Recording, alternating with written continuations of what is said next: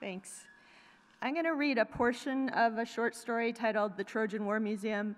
It does contain some graphic imagery of war, neither gods nor humans stinted in that department. The first Trojan War Museum was not much more than a field of remains dog chewed, sun bleached, and wind blown bones, some buried, many burnt.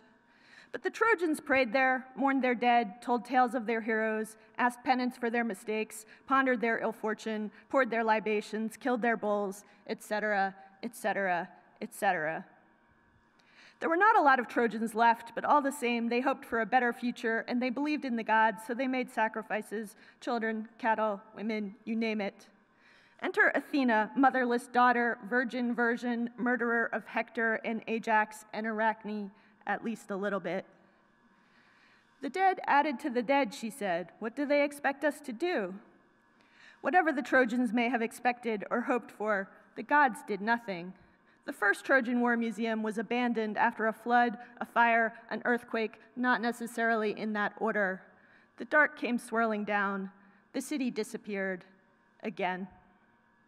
Sing to me now, you muses, of armies bursting forth like flowers in a blaze of bronze. Soldier, I begged for sleep, and if not sleep, death. I was willing to settle for death. Then again, I've never felt more loved. He looked at his father, a veteran, his grandfather, a veteran, his uncle, a veteran, his sister, a veteran, and he saw his future foretold, no different than birds and snakes foretelling nine more years of war. Think, museums turn war to poetry. So too poets. So too war. You know, Athena forgot Odysseus was out there. Oh, muses. The Second Trojan War Museum was built in approximately 951 BC upon the site of the First Trojan War Museum after Apollo, boy, man, beauty, sun god, far darter, Daphne, destroyer, and lover too, looked upon the empty plains dotted with the same old bones, more bleached, more burnt, more buried, more chewed, and declared it a ruin of a ruin and a dishonor. They are forgetting, he told Zeus. We must make them remember. Zeus, master of the house, Lord of the Lightning. You're not wrong, Zeus said. A museum run by gods is unusual, of course. Ares argued for an authentic experience, and so there was a room where one in ten visitors was killed, and another in which vultures and maggots devoured the flesh of the rotting dead, while dogs licked up their blood, then turned upon each other. The Second Trojan War Museum did not last long. The dark came swirling down. Again. Soldier, I had a more ordinary war. I feel lucky, really, though sometimes when I talk to other soldiers, I feel like it wasn't a real war, and so I'm not a real soldier. Think, would you rather be told how to use what you've got or be given what you want? Think, would you want Achilles' choice or wouldn't you? Think, glory? History, a place for tourists to visit. The third Trojan War Museum was built on Mount Olympus in the approximate year of 602 BC when Zeus, suddenly angry at the shifted tides of man's attention, gathered to the cloud white mountaintop those Trojan War mementos that were readily at hand. He was never one to go out of his way. Known first as Zeus's museum or Zeus's junk drawer, the collection only evolved into what came to be known as the Third Trojan War Museum under the guidance of the more circumspect Athena, gray eyed woman warrior of wisdom. The museum's labels provided insight into Athena's opinions.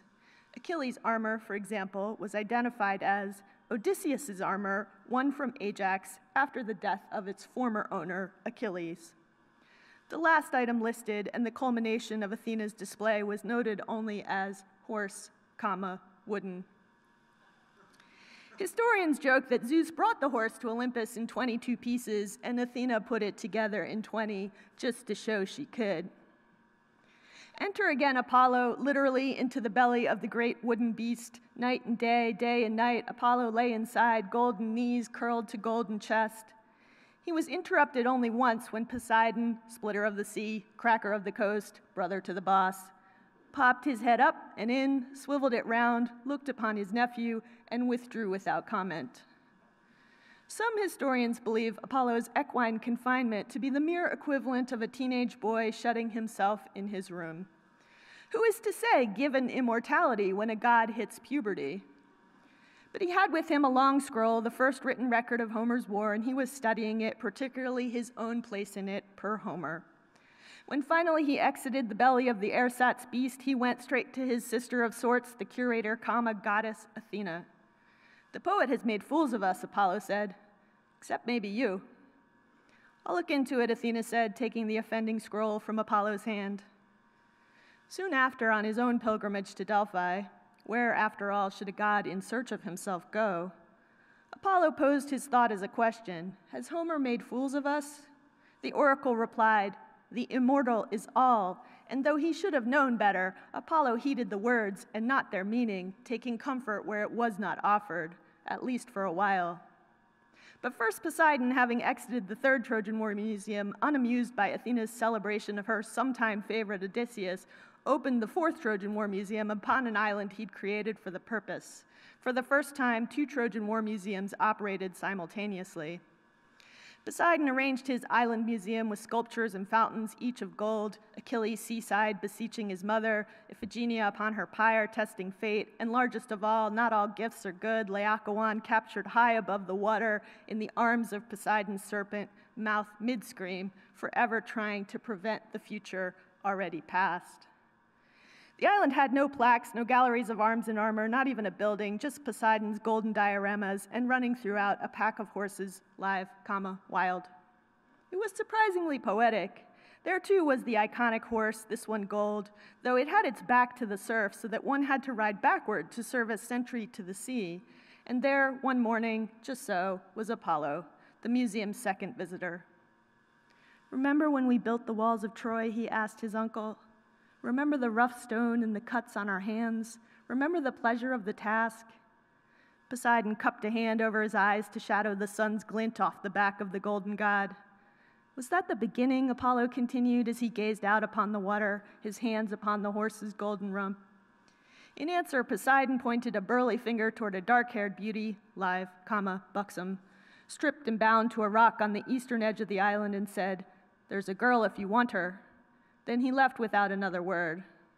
Apollo sat in the garden backward upon the horse for half a day. He did not like how Homer had made him screech like a lust for blood cheerleader Kill, you Trojans, kill! It hadn't happened, not like that, had it? He did not like how he could not remember. It had seemed so important at the time. He disliked, too, how the gods seemed such ill company. If they were not friends to each other, what friends did they have? And when it came time for Apollo to depart, he transformed the maiden on the rock into one of Poseidon's horses. He thought it a kindness. Still, she died with the rest of the herd, left untended, without enough to eat. The gods are not known for their sustained interest. The dart came swirling down again. Soldier, I've never felt more significant than when I was in combat, but really I've never been more insignificant.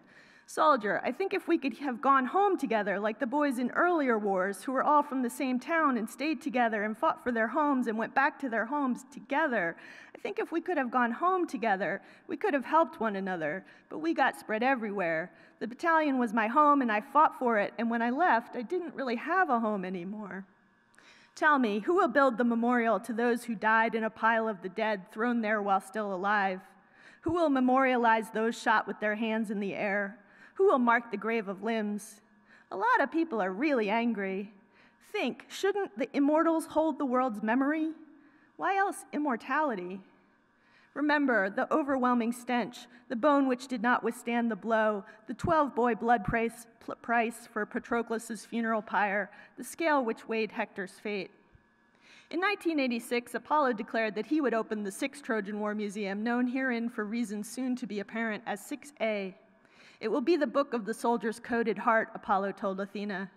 Go for it, Athena replied. I want to learn what I am willing to die for, Apollo added. Great, his sister replied.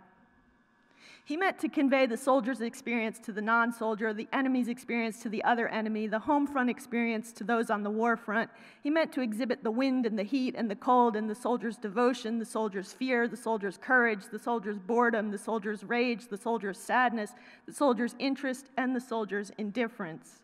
For once a God meant to understand mankind, he wanted to display the human soul, but also soldiers' bones chewed by dogs Apollo enlisted the interest of Olympus in his planning, and 6A turned into a research institute. This became the gods' scientific age in which they conducted experiments by appearing in people's dreams and determining how best to change the course of human behavior.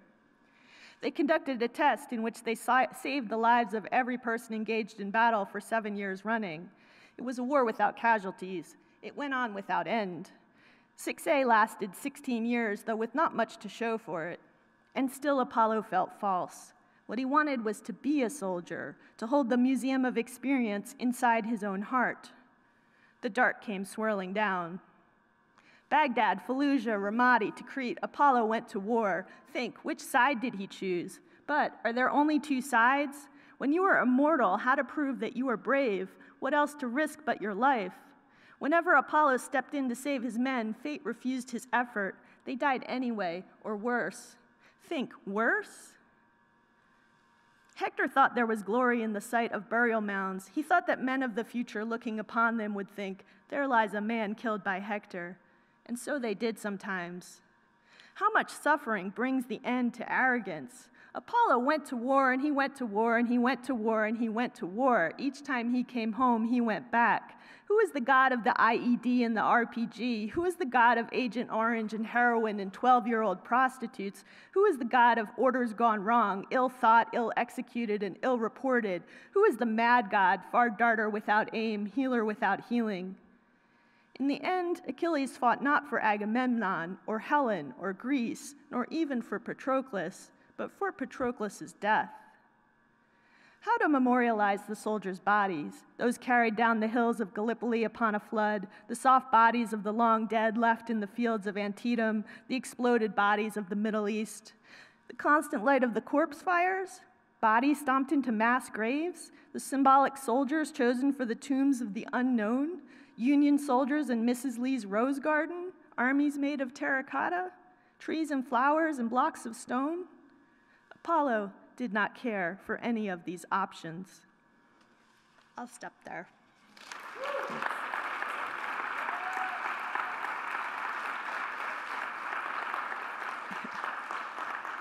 Please welcome Malcolm Friend.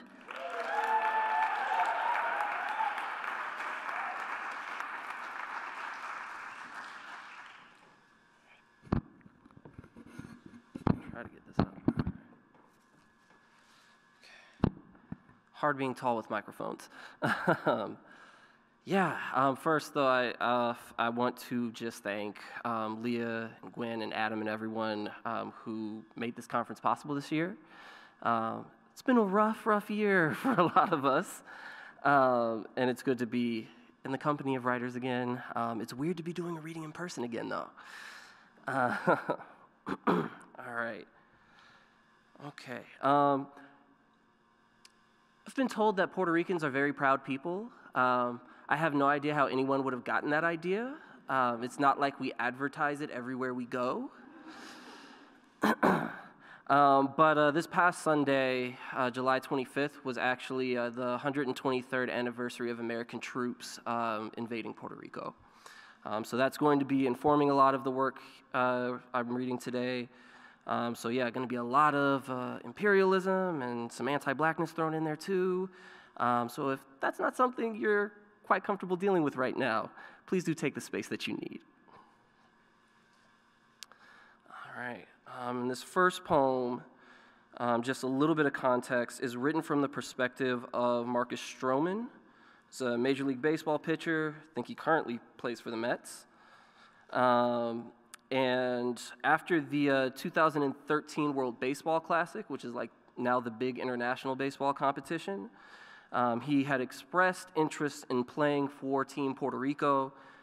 When 2017 rolled around, he changed his mind and decided to play for the U.S. instead. Was the winning pitcher in the championship game against Puerto Rico. Um, yeah, a lot going on there.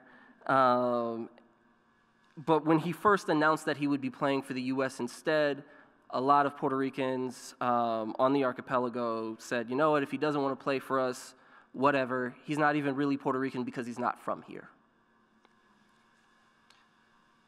Poem in which Marcus Stroman addresses Puerto Rico on the issue of his Puerto Ricanidad revolving around a line from Tato Laviera. Call me a traitor, but I prefer island, like you, distant pebble in the sea. Memory is the ocean I have to cross. The pain of this necessary voyage, too many graves call for my bones. I understand that hope is fragile, but I'd rather not assign politics to a fastball. The bat splinters the same no matter my jersey. The ball stitches still callous my fingers. That is the only purity I know. How these battered hands remind me rebelling against the mob of stars took me nowhere. These battered hands remind me rebelling is the only purity. I know how the ball stitches still callous my fingers. The bat splinters the same no matter my jersey, but I'd rather not assign politics to a fastball. I understand that hope is fragile, but too many graves call for my bones. The pain of this necessary voyage, memory, the ocean. I have to cross you, distant pebble in the sea. Call me a traitor, but I prefer island.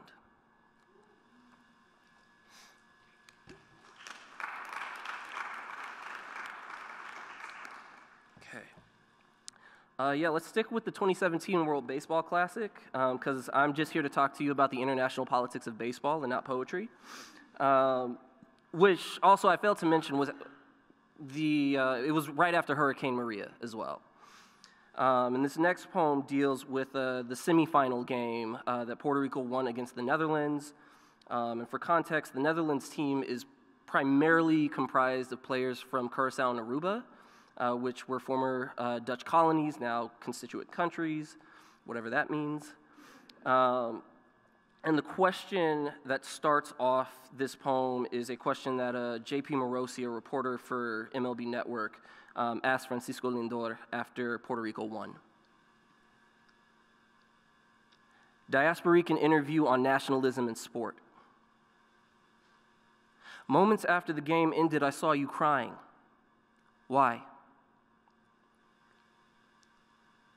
I am not oblivious to history or circumstance that this will always be the colonizers' game despite bats and gloves reaching Puerto Rico before American ships invaded, that the Dutch team is just as Caribbean as ours, Curacao, Aruba, that constituent country sounds so much like colony, that in any other circumstance, I'd be rooting for this team instead of ours, squad full of niggas that look more like me and mine than most on our squad ancestors trafficked next to mine over an ocean. How wood once held us in its backed up bowels, and now we clutch it in our fists that would get us killed in any other instance. That no home run or strikeout will undo a hurricane's wreckage, stitch a colony back together, tight as a baseball. That a storm's lashing is just this empire's latest accomplice in our exodus that Clemente shirts and Olympic jackets and flag branded hats can't make an archipelago mine, no matter how many New Yorkers take the field, wear the flag of some ancestor's once home. I know diaspora means I scatter, means I am cast away, means the ocean is more than any collection of tears, means I won't be heard no matter how hard I cheer.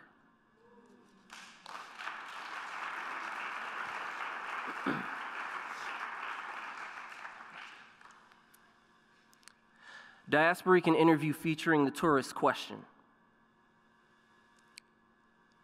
You know, I was just in Puerto Rico. You know, I was just in Puerto Rico. You know, I was just in Puerto Rico. You know, I was just in Puerto Rico. You know, I was just in Puerto Rico. You know, I was just in Puerto Rico. You know, I was just in Puerto Rico. You know, I was just in Puerto Rico. You know, I was just in Puerto Rico. You know, I was just in Puerto Rico. You know, I was just in Puerto Rico. You know, I was just in Puerto Rico. You know. I always forget how easily the colonizer moves through stolen land.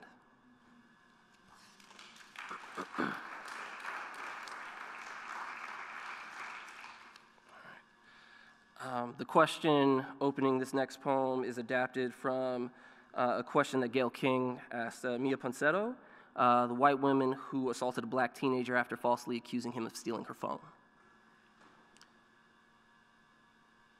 Diasporican interview on the question of race. Does being Puerto Rican mean you can't be racist?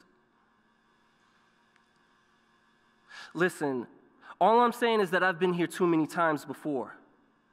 I can't count how many Puerto Ricans have said race doesn't matter there. I can't count how many white Puerto Ricans I've known over the years. All I'm saying is I'm tired of Tres and all other forms of mestizaje bullshit. That a flag doesn't make us blood no matter how much red is spilled over it. I am still a nigga in any context who has had to listen to J-Lo say the word nigga, who has had to listen to De La Ghetto say the word nigga, who has had to listen to Fat Joe say the word nigga. Every time Terror Squad's Lean Back comes on at a function, I pray it is the censored version, and even when it is, I can still feel the echo of the words scraping at my ears. All I'm saying is that in college, a Dominican girl the same shade as me refused to believe I was Puerto Rican, even after I named my dad's birthplace of Ponce, when Negros carried makeshift drums into Barrio San Anton and played plena so loud even elites had to upset Uncle Sam by dancing to them. All I'm saying is the first time I felt seen was not through Hector Lavoe. The first time I felt seen was Maelo's Fro on Esto Fue Lo Que Trajo El Barco. Was Tego's Fro on El Abayarde and El Subestimao. Was El Conde singing Babaila and La Abolición. His voice skilled with skeletons pulled out of Ponce's shores. His whole body a tuning fork for every ghost not laid to proper rest. Does that answer the question?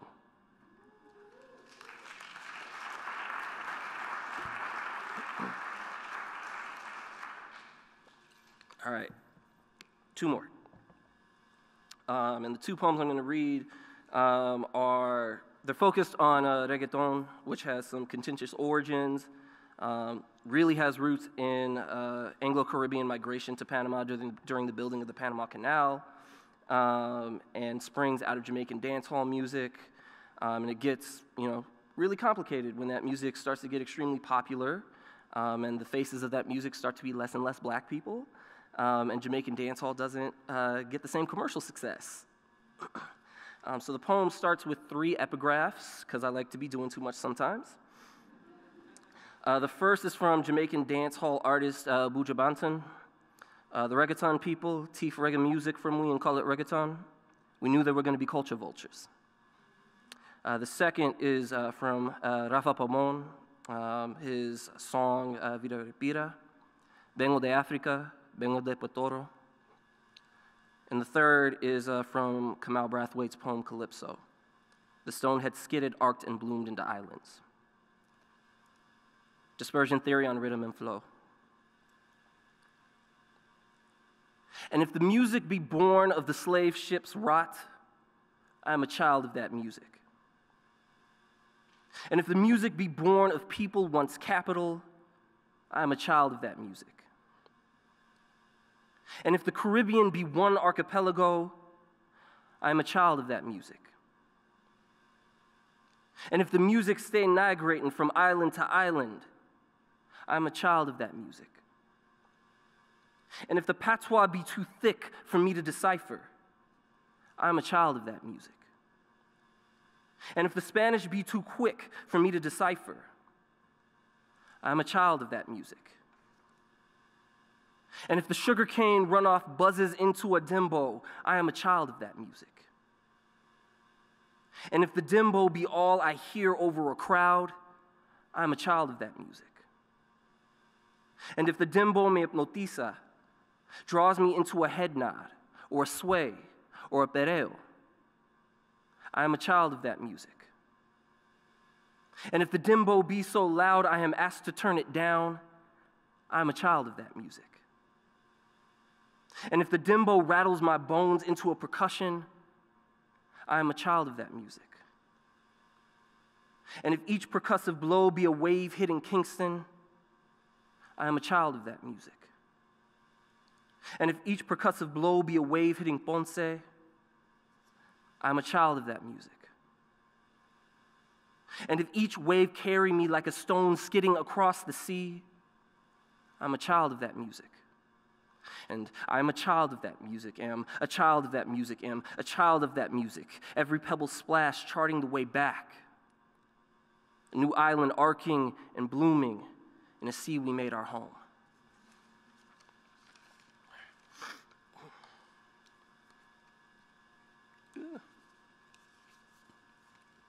All right. Prayer as Don Omar. Padre nuestro que estás en el cielo, santificado sea tu nombre. Venga un dembow, fantasma. Echo of Santurce houses banged into existence, castaway music. Every night, shouts and bullets bouncing off of bodies, bodies bouncing off of houses, off each other, off the waves. And this is what a waya sounds like beach as soundboard, breakage of sand to 332 snare, grain and drip bien pegado. When a barrio drops the bass line and lights itself like a vela, arezo, un rosario por lo prieto, took their chains and built those Santurce tin houses, took the leftover scrap metal and tricked it out into looped bling bling Listen to the slide of their feet as they dance on the ocean's breeze. Put all their weight onto the humidity until the dembow finally drops. Thank you.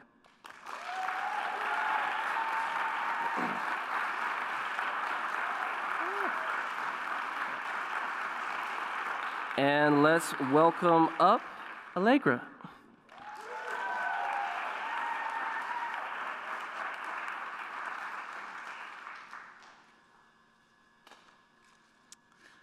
Uh, it's great to have a tall person go before me.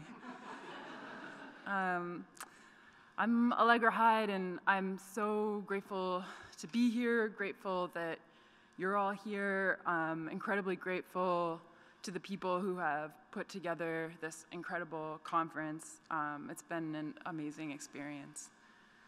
I'm going to read from my debut novel, Eleutheria, which will be out in March 2022. Um, if, if you want to see the cover, it was revealed today.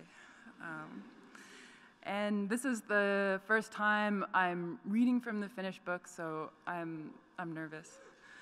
Uh, I think to say a little bit about Eleutheria, it's narrated by a woman named Willa, and she was raised by doomsday prepping survivalist parents. Um, but she ultimately seeks other ways of being in the world, uh, especially with respect to climate change. Among other things, she joins a group of militant environmentalists in the Bahamas, as, uh, and um, in, in doing that, uh, ultimately is um, part of an ongoing cycle of uh, idealization or of pursuing ideals and um, wrestling with uh, legacies of um, colonialism and exploitation. So I will be reading from the beginning. My father had a theory for why people went to the ocean in the summer, spent their savings, their vacation days, to plant themselves on a patch of sand within sight of the water. Even if they don't know it, my father said, what they want is to be close to death.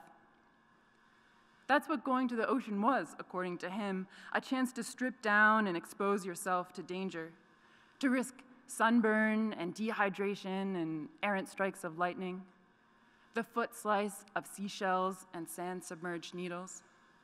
At the beach, you could wade out into waves that might pull you into a riptide or the jaws of a shark, or even if you only dipped your toes in the water, you'd still know you were stepping into something so vast it could engulf you, swallow you whole. It's not that people want to die, said my father. It's just that when they go to the beach, a part of them knows deep down that they could. So afterward, when they return to their three hour commutes and their cubicles, they return with a secret sense of survival. They feel woken up, more alert. My mother snorted when she heard this. She, like my father and I, was crouched in the dark gut of our emergency bunker, yet unfinished but stocked with canned goods, blankets, a stack of semi automatic rifles. We were practicing what to do in the event of an electromagnetic attack. Going to the beach, said my mother, won't save you when SHTF, shit hits the fan. My parents didn't think we needed the beach because, unlike the masses, we were already alert to the horrors and dangers of the modern world. Unlike the masses, we were already prepared. So I didn't go to a beach until I was nearly 18, and then it was only a shabby artificial one near Logan Airport. I didn't go to a beach until after my parents couldn't survive themselves. And then when I went with Sylvia, that felt different. Not like pressing in close to death, but already existing in an afterlife. Really, my father's theory didn't mean much to me until these last eight months, the ones I've had to think through what happened on the island, what happened at Camp Hope. All this time, I've had to wonder what it was we were really doing, what it was I did, and now, of course, I have hardly any time at all. Maybe I should have been thinking of my father right from the beginning. Maybe I should have thought about where I was really going when I first careened over the archipelago in a turboprop gunshot from Florida, and those islands looked to be all beach. The Bahamas scattered along the turquoise lip of the Caribbean, their coastline sandbar swirled, coral dazed, the islands so low in the water they seemed poised to hold their breath. A little more sea level rise, and they'd be washed away. Already their edges were eroding, ocean swells grabbing at coastal roads, at the underbellies of beach houses not yet leveled by hurricanes. The worst of the storms had turned whole resorts to matchsticks. Their swimming pools gone green from neglect, pagodas engulfed by vegetation, hibiscus blooming in the marbled bathrooms, quail doves shitting on embroidered towers, another empire born and bowed, and yet when I looked down from the turboprop, pressed my face to its oval window, I felt only possibility. I felt more than alive. My whole life, I've run away from my parents' way of thinking. That's what I wish people understood. Despite everything that's happened, the way everything looks, I only ever wanted to make the world better. I only ever wanted to help. You should know, too, that I recognized Eleutheria from the air. I knew the island even before the turboprop circled toward a ragged stretch of tarmac. The island bathed in the water like a fishhook, a skinny hundred miles that curved at one end, its shorelines barbed by peninsulas, baited with the green sway of sea grapes, beaches as pink and fine as spun sugar. I felt Eleutheria catch my heart and pull.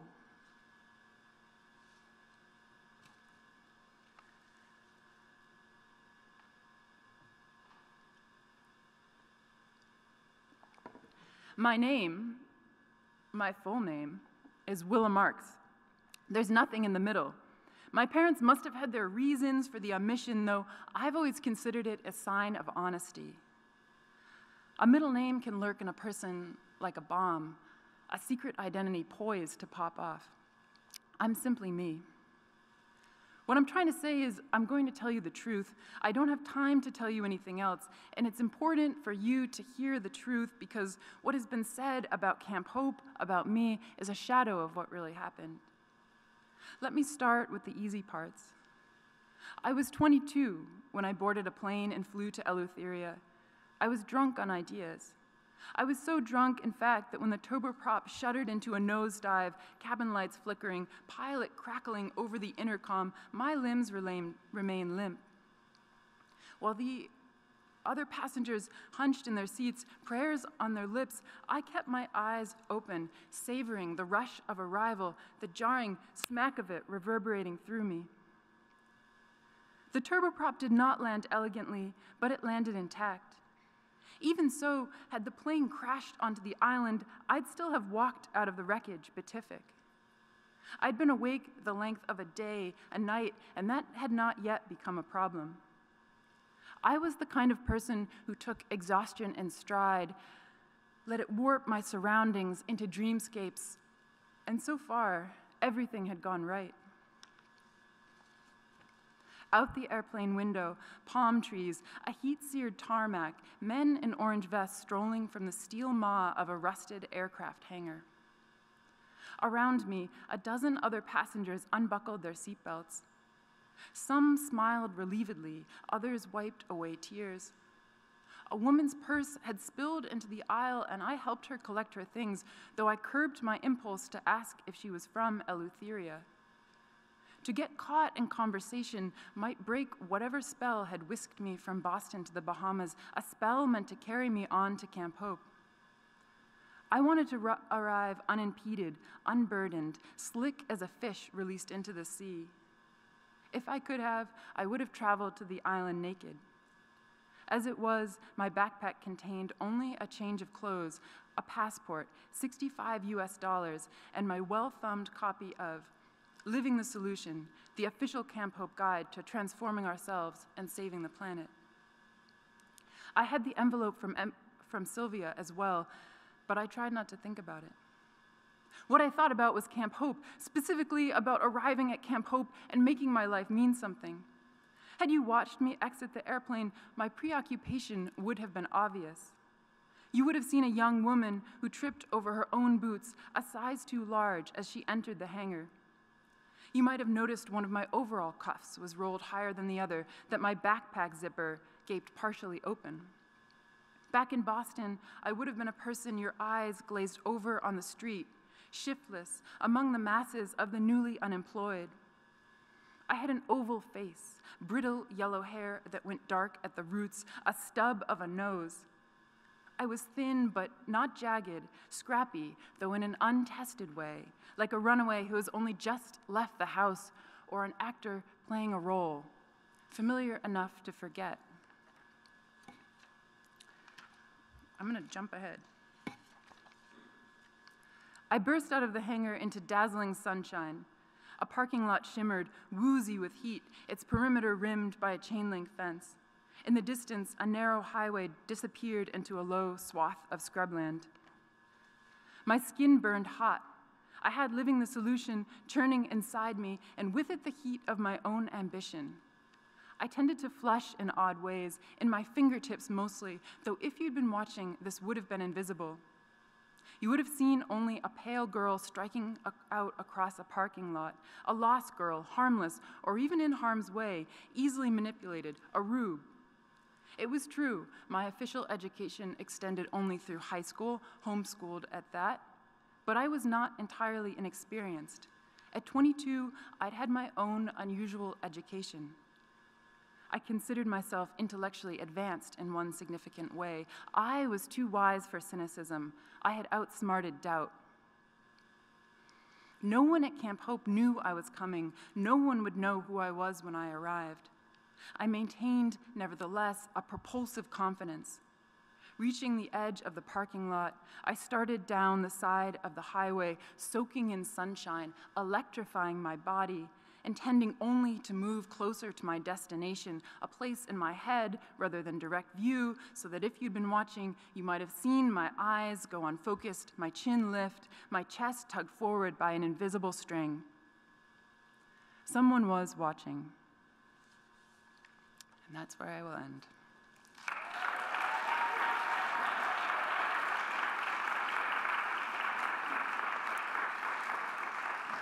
And our final reader is.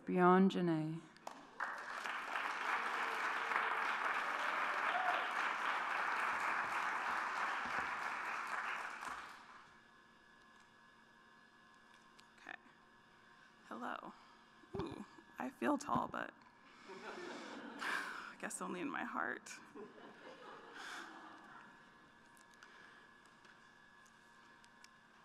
Love poem.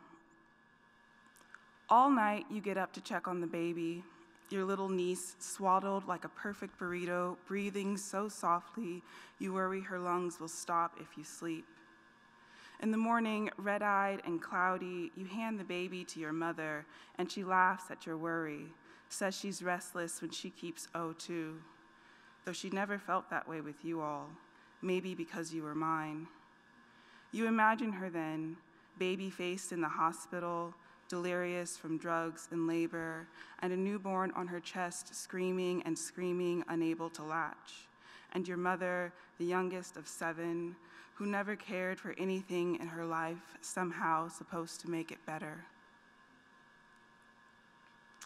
Okay, I'm gonna read a lot of angsty mother poems, in case you wanna know what's up. I called it Grace.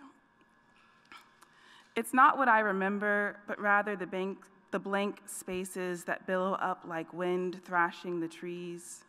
The moments between the first frenzied steps in flight and the chill of a wall at my back. The not knowing what comes after, but knowing my mother was after me. On good days, I call this absence, this blank space in the memory, grace. Imagine my mind like a photo album pulled from the ash of a fire.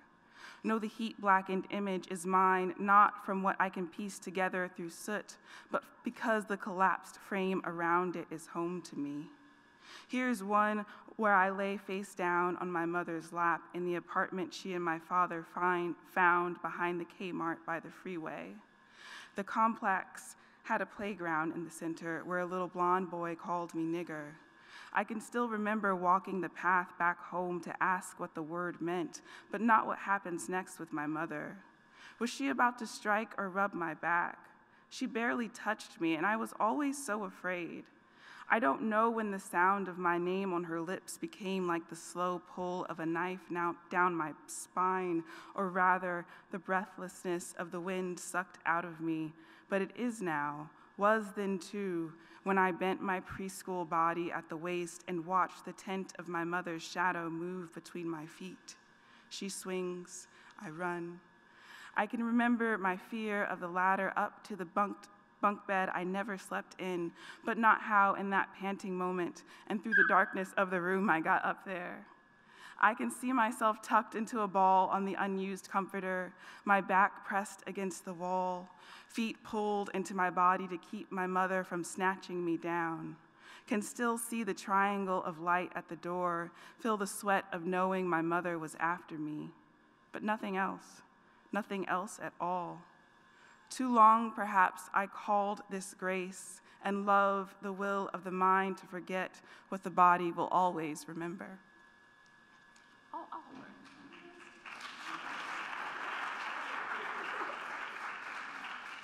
She wants to be with me in these angsty poems.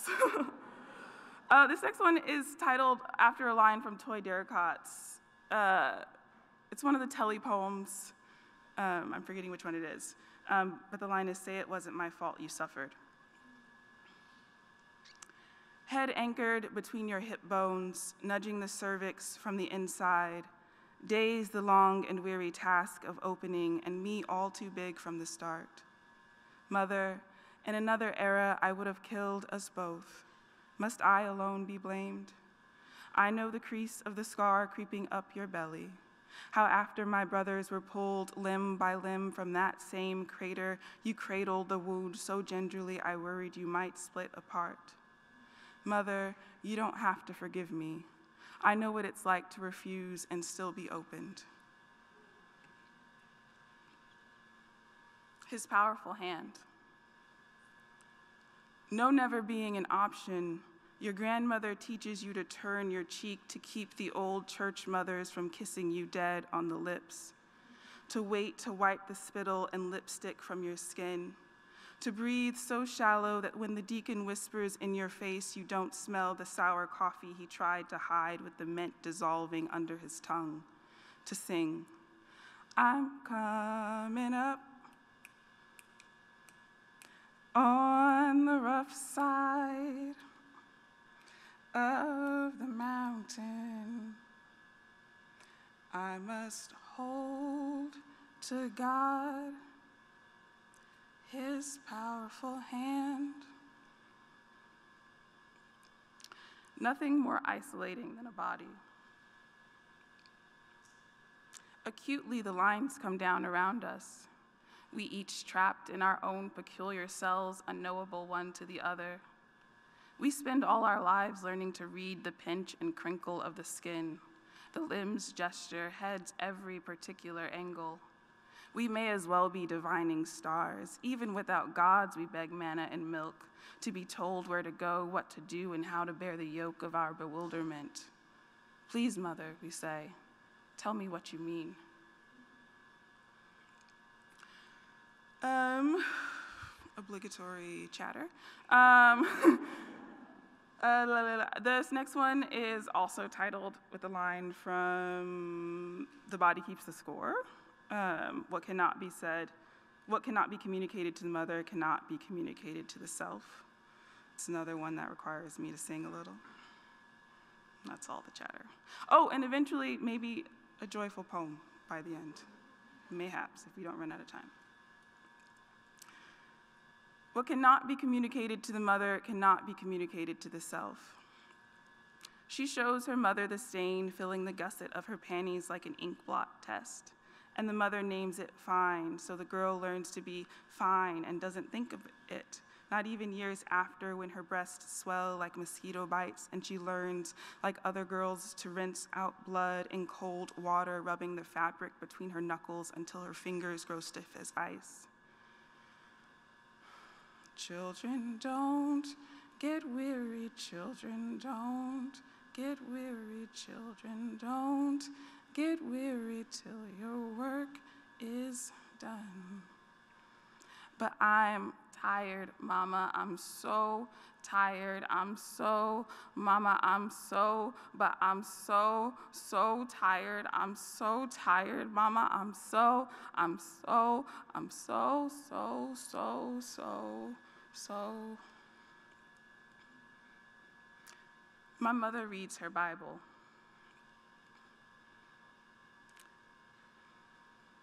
After the minister has read the scripture and began to preach a good word, my mother circles back to the head and carries on past the pastor's delicately plucked first.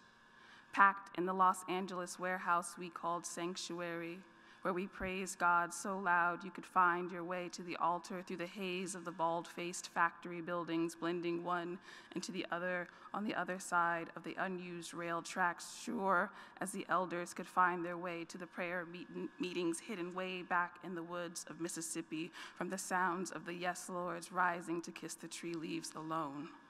My mother, a Martin Luther among the caught up masses, trusted no one, least of all a man who would have himself anointed above her.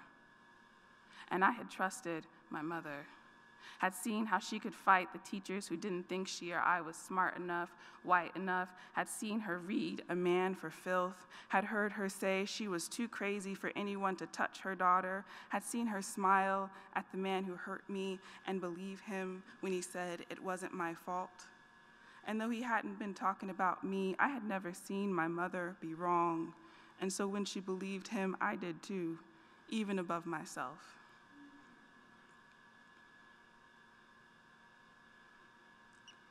Sometimes I feel like I'm almost gone.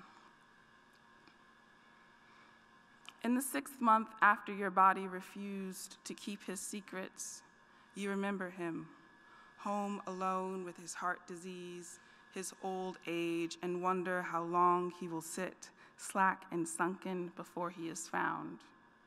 You picture his body, the ashen cold of his skin, the smell of shit and decay a mouse scampering up the arm of the chair to bite at his eyebrows. You want this to feel good, you say.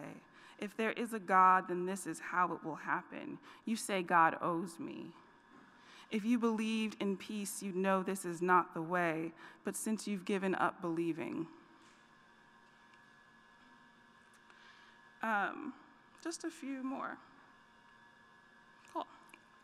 Um, I'm, I don't know, these are all from a book that I'm imagining are love poems to my mother, are truth telling poems, and so this is another one of the love poems.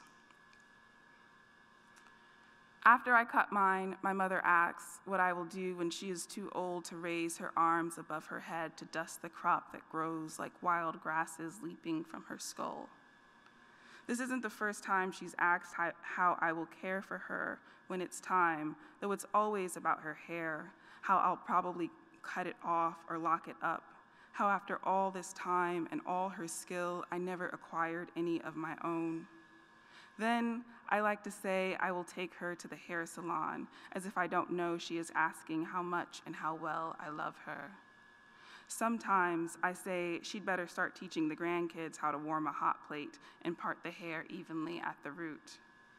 Most days, though, I can already see my gloved hands, slippery with dye and all that stubborn gray at the base. I'll pull the wide toothed comb slowly through the length of her hair. It will almost be enough. Love poem to the motherfucker who broke into my apartment. True story. Love poem to the motherfucker who broke into my apartment. All I'm saying is that was some good ass weed you stole, top shelf, and you better have enjoyed it. I mean, you look like you needed some flour the way you clutched the tin against your chest and leapt down the stairs. Okay, I didn't really see you leap. I was running for my life too, after all. Me out the front door, you through the basement. The man who chased you down the street for no other reason than the frantic in me could have been my brother, but you could have been my brother too, frozen a split second, exiting my bedroom door as if you were the doe and not the semi barreling towards me. I didn't want to call the cops on you, but you had my laptop and had been inside my bedroom, and I have been the doe my whole life, and it frightened me. They say you ditched my laptop when you started hopping fences, the sirens howling in broad daylight, pumping cortisol and adrenaline into your thighs and heart. Run, run, run, forgive me. I wanted you far from me, yes, but also I want you alive and free. Um, and then one more. Last one. Against Mastery. Thank you guys uh, for being with me through all of these capital, all caps, angst poems. Against Mastery. Give me no seat at the table. Let no trembling hands lay food on my plate. Let me lord over no one and nothing. Not the dog curled up in my bed, not the land nor children who wander through my care. Let me learn from the babies and be always laughing at my ignorance. Only humble discovery give me, and keep my eyes on the pattern of birds' wings breaking the blue overhead. Let me face the ones I harm with open palms, and let love be the method and measure of my worth. Keep my heart with my people and the coal glowing beneath my feet. Let me run and let the flame of my torch never go out. I am here with you to burn the house down. Keep me to this. Cut me down before you let me lose my way. Thank you.